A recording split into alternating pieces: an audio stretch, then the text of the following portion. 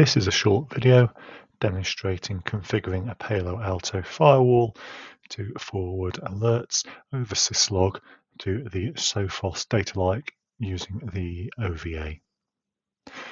This is a four-part procedure consisting of firstly configuring a syslog server profile, secondly configuring the format of the syslog message, thirdly configuring log forwarding, and fourthly committing the changes.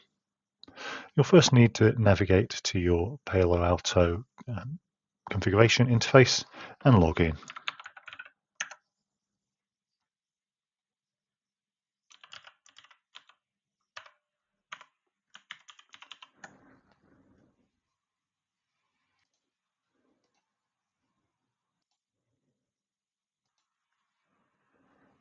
Once logged in, we can proceed to configuring the syslog server profile.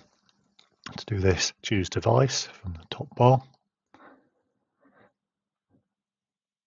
And on the left-hand toolbar, scroll to Server Profiles and Syslog. You will see here we already have two syslog profiles configured and we will add a third by choosing the Add button at the bottom of the screen.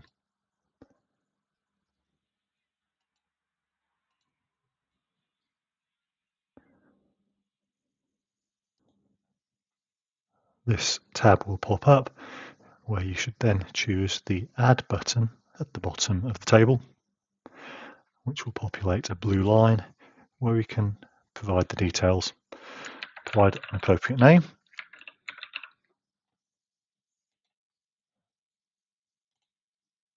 the IP address of the syslog server that has been configured, i.e. the OVA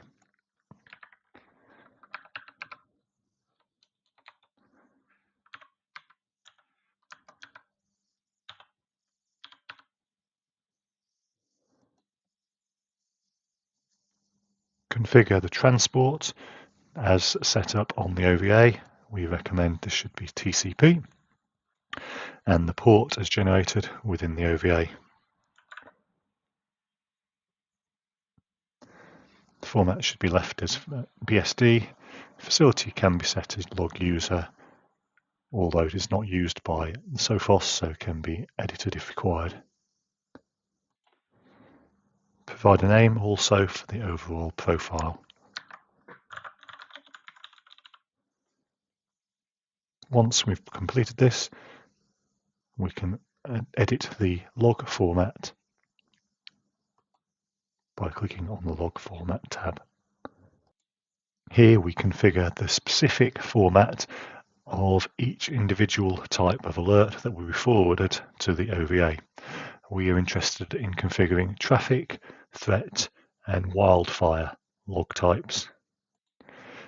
You'll find the specific string that needs to be populated within the custom format within the Sophos help documents.